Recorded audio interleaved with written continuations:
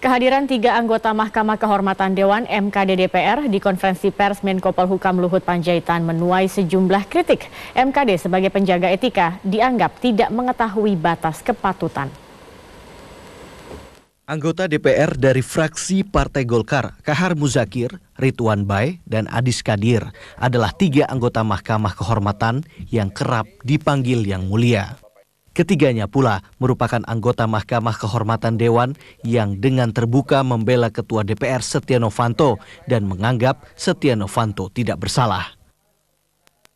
Namun kehadiran ketiga yang mulia ini di konferensi pers yang digelar Menko Polhukam Luhut Panjaitan mengundang kritik dari beberapa kalangan.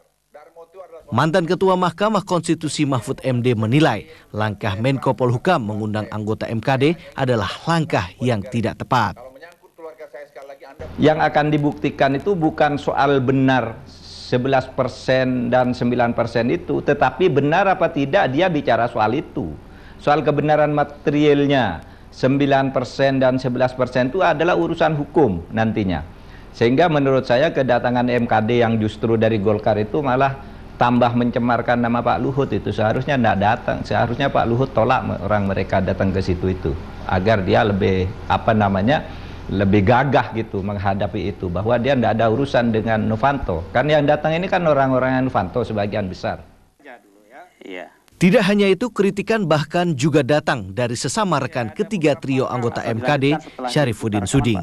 Baik, nanti saya akan lanjut Pak Luhut untuk melakukan jumpa pers ya. Saya kira anggota mahkamah walaupun dia diundang itu harus menahan diri gitu loh, ya. Harus menahan diri, jangan merendahkan harkat dan martabatnya sebagai hakim mahkamah kan begitu. Apa datang dalam suatu kasus yang ada kaitannya dengan perkara yang sementara ditangani oleh Mahkamah Kehormatan Dewan itu yang menurut saya patut saya sesalkan. Sementara itu, menurut pengamat politik Rai Rangkuti, Mahkamah Kehormatan Dewan yang kini tengah disorot untuk menguji dan menegakkan kehormatan anggota DPR justru semakin terpuruk dengan kehadiran tiga anggota MKD dalam konferensi pers kemarin. Saya nggak mengerti logika apa anggota DPR yang menghadiri sidang itu, gitu. apa yang menghadiri eh, konferensi pers saudara Luhut itu dalam kapasitas apa mereka menghadirinya dan untuk apa kan kira-kira gitu. Sebab mereka ini semua sekarang bukan lagi disebut bukan semata anggota DPR, tapi mereka juga hakim dalam persidangan yang terkait dengan dugaan adanya pelanggaran etik oleh saudara Setia Novanto.